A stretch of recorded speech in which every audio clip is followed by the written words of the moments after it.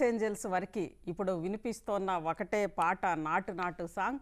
మొత్తం భారత్ కోట్లాది మంది భారతీయులందరూ కూడా భారతీయ ప్రతిభ ఆస్కార్లో ఖచ్చితంగా కనిపించాలి. ఆస్కార్ వేదికగా ప్రపంచం దృష్టికి తీసుకురావాలి అని అందరూ ఆకాంక్షిస్తున్నారు. ఆర్ఆర్ఆర్లో ఉన్న నాటు నాటు సాంగ్కి ఆస్కార్ వచ్చేది రానిది మరికొద్దిసేపట్లోనే తేలనుంది. దాదాపు వస్తుందనే అందరూ కూడా భావిస్తున్నారు. ఒకవేళ అదే నిజమైతే ఈ కేటగిరీలో బెస్ట్ ఒరిజినల్ సాంగ్ కేటగిరీలో ఆస్కార్ అవార్డు అందుకున్న తొలి పాటగా నాటు నాటుని మనం భావించాలి. మొత్తం మీద ఆ అరుదైన క్షణం మరికొద్ది అమూల్యమైన అరుదైన క్షణం మరికొద్ది గంటల్లోనే రానుంది. ఈ నేపథ్యంలో అసలు ఏంటి? ఆస్కార్ అవార్డ్స్కి సంబంధించి ఈ సాంగ్కి ఉన్న మెరిట్స్ ఏంటి? అదేవిధంగా గతంలో ఆస్కార్ అవార్డ్స్ ఏ ఏ అంశాలకు సంబంధించి వచ్చినాయి? ఈ సాంగ్కి ఆస్కార్ రావడం ద్వారా అంతర్జాతీయ చలనచిత్ర రంగంలో ఇక భారతీయ ప్రతిభ మరింత ఇనుమడిస్తుందా? అదేవిధంగా హాలీవుడ్లో ఇక హాలీవుడ్ దర్శకులు అందరు కూడా మన హీరోల వైపు మన మ్యూజిక్ కంపోజర్స్ వైపు లేదా మన రచయితల వైపు ఇలా క్యూలు కడతారా? ఇదే అంశానికి సంబంధించి మనతో మాట్లాడడానికి ప్రముఖ హేతువాది అదేవిధంగా రాడికల్ హ్యూమనిస్ట్ బాబు గోగినేని గారు ఉన్నారు. బాబు గోగినేని గారు నమస్తే అండి. నమస్కారం అండి. ఎస్ మరి కొద్దిసేపట్లో దాదాపు ఇంకొక అంటే ఐఎస్టీ ప్రకారం ఇంకొక కొన్ని గంటలు ఉంది భారతీయ ప్రతిభ ఆస్కార్ లాస్ ఏంజల్స్ వేదికగా ప్రపంచం దృష్టికి రానుంది. ఏంటి ఎలా చూస్తున్నారు? ఇప్పటికే హైదరాబాద్లో అన్ని చోట్ల కూడా సెలబ్రేషన్స్ కూడా ప్రారంభమైనాయి. ఎలా చూడొచ్చు అంటారు? ఆల్రెడీ ఇప్పుడు అవార్డు వచ్చినా రాకపోయినా తెలుగు ఫిల్మ్ ఇండస్ట్రీ అంటూ ఒకటి ఉంది. అట్లాగే భారతీయులు ఇటువంటివి చేయగలరు అన్న రికగ్నిషన్ రావటం అన్నది మటుకు దట్ ఈజ్ ఆల్రెడీ ఎస్టాబ్లిష్డ్ ఇక ఫైనల్గా ఎవరు ఎవరికి ఓటు వేస్తారు?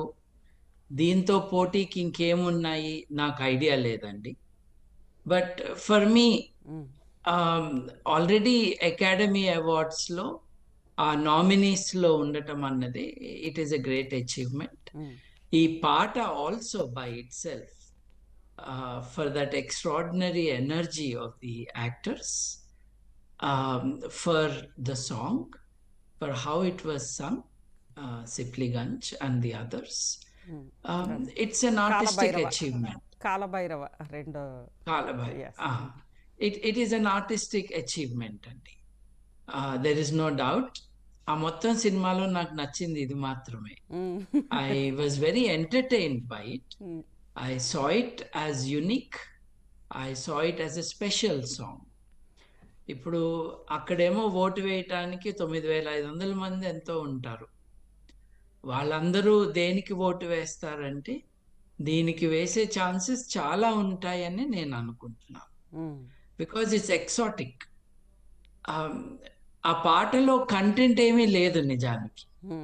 మనం లిరిక్స్ చదివితే చూస్తే దాంట్లో ఏం లేదు. దద్దానికి దాన్ని అన్నట్టే ఉంటుంది అక్కడ అంతా అంటే బట్ ఎస్ వాటన్నిటినీ దగ్గరికి తీసుకొచ్చి ఎంటర్టైనింగ్గా గ్రిప్పింగ్గా అమ్యూజింగ్గా వాళ్ళు అక్కడ షో చేయటం అన్నది both the actors they've done brilliantly well అండి.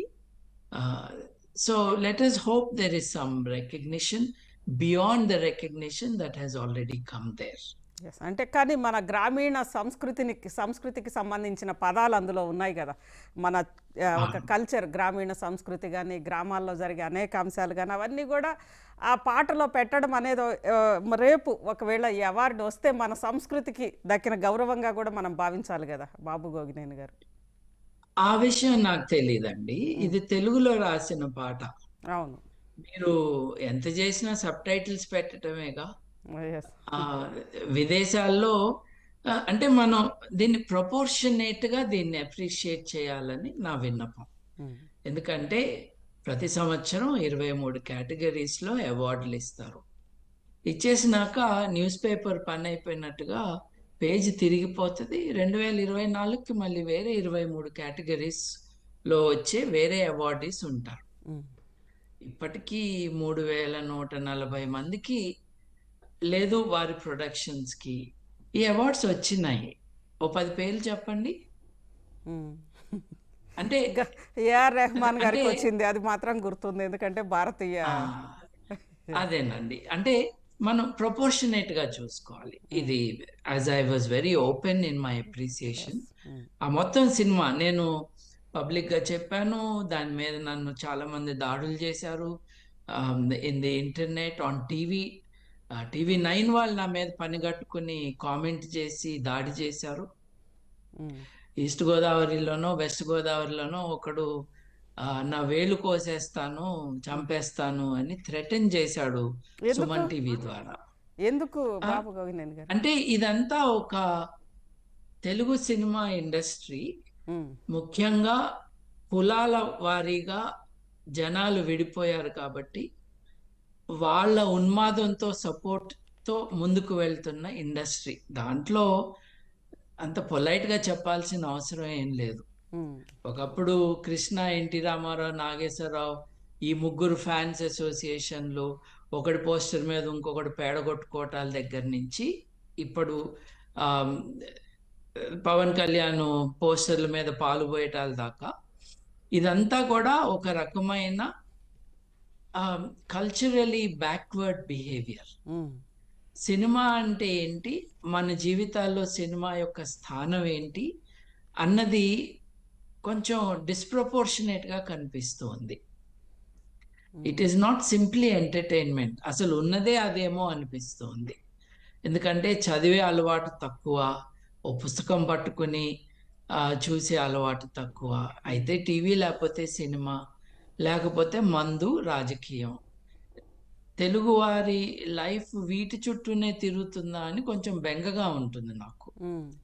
ఈ కాంటెక్స్ట్లో టీవీ ఛానల్స్ వారి దగ్గర నుండి ఆర్డినరీ వ్యూవర్స్ దాకా కోపం వచ్చింది వాళ్ళకి ఈ సినిమా నాకు బాగాలేదు అంటే. నేను ఇది బాగాలేదు అని ప్రపంచం అంతా ఆర్ఆర్ఆర్ మేనియాలో ఉంటే మీరు సినిమా బాగలేదని అనడం ఏంటి? నిన్న ఈ రోజు మళ్ళీ రీ రిలీజ్ కూడా ఉంది. చేయొచ్చండి. ఇప్పుడు డబ్బులు ఇచ్చి సినిమా చూశానండి నేను. నాకు నచ్చిందో నచ్చలేదో నేను నా ఫేస్బుక్ నా అకౌంట్లో నేను రాసుకోవటం తప్పెట్లా అవుతుంది. దాన్ని పట్టుకుని టీవీ నైన్ వాళ్ళు పని కట్టుకుని ఒక అమ్మాయి ఒక అండర్ ఏజ్ పిల్లని తీసుకొచ్చి ఆమెతో నా మీద దాడి చేయించాల్సిన అవసరం ఏంటి? ఈ టీవీ ఛానల్స్ని ఉన్మాదంలోకి తీసుకొచ్చారా? లేదు.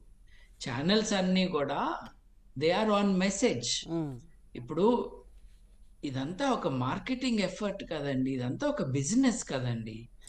ఆస్కార్ అవార్డు కూడా ఆస్కార్ అవార్డును కూడా మనం బిజినెస్ అని అందామా? మార్కెటింగ్ ఎఫర్ట్ అందామా బాబు గోగినేని గారు? ఓ తప్పకుండా.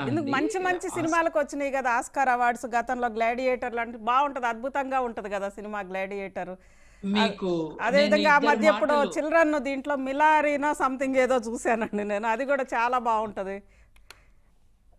అంటే అవార్డు రాని సినిమాలు కూడా మంచివే ఉంటాయండి. వరల్డ్ సినిమాలో ఆ టాప్ టెన్లో ఏది అన్న దేనికంటే బెటర్ అన్నది ఆ ఇండస్ట్రీలో ఉన్న వాళ్ళు తమ పియర్ గ్రూప్లో సెలెక్షన్ చేసుకుంటున్నారు. మనం ఆ ఓటర్స్లో భాగం కాదు. మనం అందరం వ్యూవర్స్ మీ మన అభిప్రాయాలు మనకుంటాయి. కానీ మీరు అన్నదానికి నేను ప్రత్యేకంగా రాసుకున్నానండి. ఇద్దరు మాట్లాడారు ఈ విషయాల గురించి ఉమ్, ఒకరేమో టిమ్ టిమ్ డైట్స్ అనే ఆయన ఉమ్, ఆయన ఒక మీడియా వెబ్సైట్లో రాసిన విషయం unfortunately the critical worth artistic vision cultural influence and innovative qualities of many films are not given equal weight um, especially since 1980s um, money making formula made blockbusters with glossy production values not necessarily great films with great depth have been selected అని ఆయన రాశాడు ఇంకా డ్యామేజింగ్గా William ఫ్రీడ్కిన్ అనే ఆయన రెండు వేల తొమ్మిదిలో అంటే ఆల్రెడీ ఇన్ని సంవత్సరాల పూర్వం ఆయన ఎవరంటే ఆయనే ఒక ఆస్కార్ అవార్డీ అన్నమాట so is not an out cider ఈ అవార్డు పొందిన ఒక వ్యక్తిగా. ఆయన greatest promotion scheme that any industry ever devised for itself అన్నాడు ఆయన. ఉమ్, అంటే ఇది ఒక మార్కెటింగ్ ఎఫర్ట్ ఇప్పుడు ఒక సినిమా గురించి ఇన్ని టీవీ ఛానల్స్లో ఇంత రెగ్యులర్గా యాంకర్ల దగ్గర నుంచి మామూలుగా మాట్లాడేవాళ్ళు చూసేవాళ్ళు అందరూ చూడటం కాకతాళీయంగా జరుగుతుందా? ఈ జర్నలిస్టులు అందరూ విమానంలో బెంగళూరుకో బాంబేకో ఎట్లా వెళ్తున్నారు? అక్కడ ఏ హోటల్స్లో ఉంటున్నారు? అంటే there is an amazing publicity machine at work దీన్ని మనం గుర్తించాలి. టీవీ ఛానల్స్కి ఉమ్, ప్రతి వారము ఒక కవర్ వెళ్ళటం నాకు తెలుసు ఫిల్మ్ క్రిటిక్స్కి ఉమ్, ఇంకెవరెవరికి వెళ్తుందో నాకు తెలియదు కానీ కవర్స్ వెళ్ళటం నాకు తెలుసు. క్రిటిక్స్ అందరికి. అందరికీ అని నేను అదే, చెప్పలేను. ఎక్కువ మందికి జనరల్గా ఒక. సాధారణమైన ఇది. కానీ నేను చూశాను. దాని మీద ఏదో సినిమా కూడా వచ్చింది గతంలో. అది ఎవరు తీశారో కానీ రవితేజ ఉంటారు అందులో. అంటే ఇది కొత్త ఏం కాదండి. ఇప్పుడు మనకి ముఖ్యంగా తెలుగు వారికి ఈ కీర్తి కండూతి మామూలుగా ఉండదు కదా. డబ్బులు ఇచ్చి సన్మానాలు చేయించుకునే సంస్కృతి మనకు ఉన్నది అది అన్యాయం కదా. ఇప్పుడు దానికి కొన్ని దుకాణాలు ఉన్నాయి మీరు వెళ్ళి ఒక మూడు లక్షలు ఐదు లక్షలు ఇస్తే వాళ్ళే మీటింగ్ అరేంజ్ చేసి ఆ మీటింగ్కి కవులని ఇంకా వేరే వారిని ఆహ్వానించి మళ్ళీ మీ సాల్వా కూడా వాళ్ళు కొనుక్కొచ్చి తీసుకొచ్చి కప్పి పంపిస్తారు. ఆనరరీ డాక్టరేట్లు అన్న తమాషా మనకి తెలుసు. సో కొంచెం జాగ్రత్తగా చూడాలి ఎవరికైనా అవార్డు వస్తే మనము అందరము గొప్పగా ఉంది అనుకునే ఆస్కార్ అవార్డ్స్ని అకాడమీ అవార్డ్స్ని ఆ అవార్డు పొందిన ఆయన ఏమన్నాడో మీకు చదివి వినిపించాను. Greatest promotion scheme that any industry ever devised for itself అని ఆయన అంటున్నాడు. మరి ఎనభై కోట్లు ఖర్చు అయిందంటే దేనికి అయిందండి ఎనభై కోట్లు అమెరికాలో ఉండటానికి అమెరికా వెళ్ళి రావటానికి అయిందా టీంకి ఇంకేమన్నా అయితే ఈ ఖర్చు అయిందా అంటే ఎనభై కాకపోతే యాభై కోట్లు.